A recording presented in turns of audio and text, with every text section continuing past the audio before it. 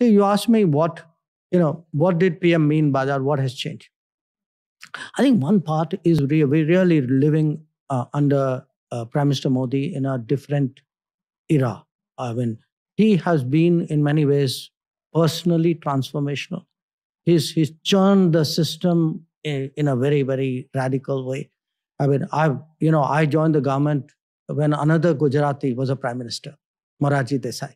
Okay, so that's how far back I go. Huh? A lot of people, of you know, your listeners would be wondering, okay, what the hell is he even talking about? No, no. Huh?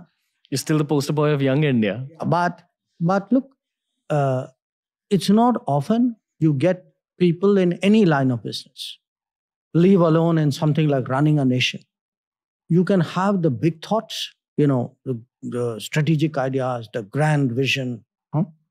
Very seriously, you have the the revolutionary concepts that you chart out. Okay, there's a different way of looking at a problem. That's one skill, and then you have going down to the details saying okay this does you know this needs to be tweaked that detail needs to be looked at this problem needs to be fixed guys you haven't done uh, the backup on this usually there are talented people inspired people who get the big picture there are people who are very grounded who who kind of uh, go down drill down it's very rare to find it in one person and Hmm. that, I would say, to me, is a very singular quality uh, of Prime Minister Modi. Yeah.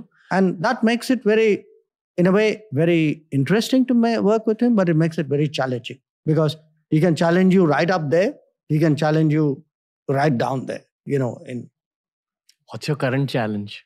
look, it's the world's a tough place right now. Uh, you we barely come out of this COVID thing. Um, you had this Ukraine conflict, uh, and all the the consequences which came out of it. You know, uh, energy, food, inflation, fertilizer.